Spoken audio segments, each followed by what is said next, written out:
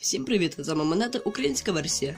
І ми сьогодні розглянемо ювілейну монету СССР 20 років перемоги над фашистською Німеччиною. На реверсі зліва, зверху та праворуч, уздовж краю монети надпис Перемога над фашистською Німеччиною. Всередині встановлений у Берліні пам'ятник воїну-визволителю скульптора Е. В. Вучетина. Зліва від пам'ятника латинська цифра 20. Праворуч слово років. На аверсі зверху герб СССР з 15 витками стрічки. Нижче зліва літери СС та праворуч СР. Між ними лінія посередині якої є горизонтально розширований ромб. Ще нижче слово 1 і внизу уздовж канта слово рубль. Уздовж канта виступає монета Карпковий ободок. На гурті монети є дві вдавлені надписи. 1 рубль 9 травня 1965 рік. І між ними є дві вдавлені п'ятикутні зірки. Монета чеканилась 28 квітня 1965 року. Номінал монети 1 рубль або 1 карбованець. Матеріал, з якого виготовлена ця монета, це мідно-нікелевий сплав. Маса монети 9,75 грами. Діаметр 31 мм і товщина 1,9 мм.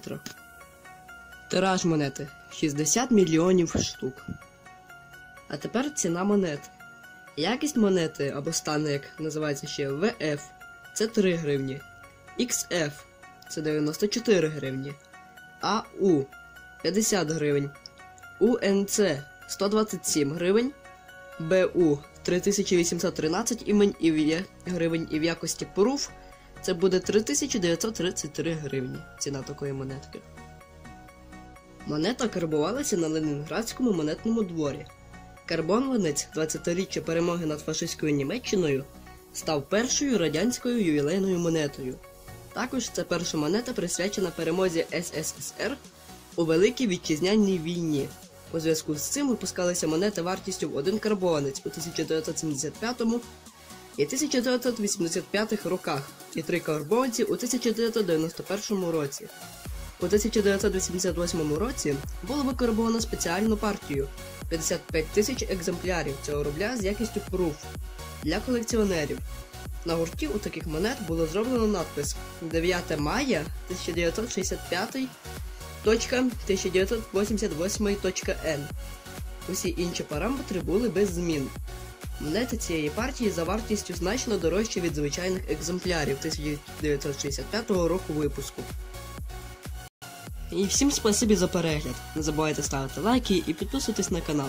Всім бажаю гарного дня, вечора або ночі. Всім удачі і всім пока!